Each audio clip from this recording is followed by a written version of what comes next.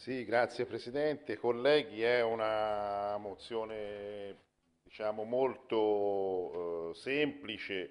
per molti versi, ma anche interessante sul piano eh, della, della sicurezza dei giochi per bambini. Questo più o meno è il senso di questa mozione. Vado velocissimo, visto i tempi, ma anche perché credo che possa rappresentare una mozione molto ragionevole, nel senso che noi sappiamo che grosso modo in Europa sono circa 190.000 i traumi eh, che vengono eh, ad essere eh, eh in, interessati i bambini. Di questi traumi, quelli che, che le cause più frequenti sono giusto appunto le cadute dagli scivoli nei parchi giochi e le cadute eh, dalle altalene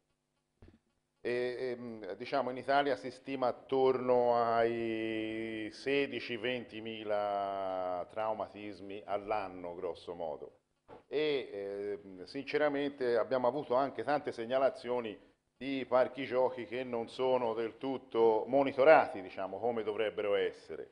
Almeno le normative più significative in termini di qualità di questi interventi dovrebbero prevedere un'ispezione visiva ordinaria questo tipo di ispezione dovrebbe valutare i rischi evidenti, un'ispezione operativa che è ogni tre mesi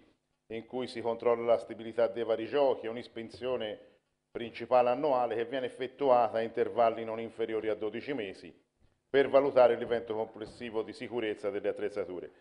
Diciamo, eh, la parte più significativa rispetto a questi traumi sono i pavimenti, eh, i pavimenti che non vengono monitorizzati abbastanza e che attenuano eh, nel caso della caduta l'eventuale impatto a terra e quindi eh, con traumi minimi se ci sono i pavimenti efficientati, con traumi significativi se questi pavimenti non ci sono.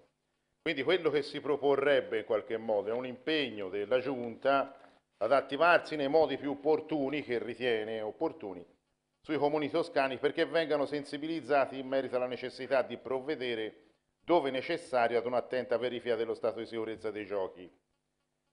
come previsto tra l'altro dalla normativa, e a monitorare il rispetto della normativa da parte dei comuni anche attraverso un monitoraggio che potrebbe avvenire mediante autocertificazione, magari con un'allegata documentazione, con una distinta dell'intervento, con fotografie, da eh, inviare magari periodicamente con una periodicità stabilita eh, dalla Giunta.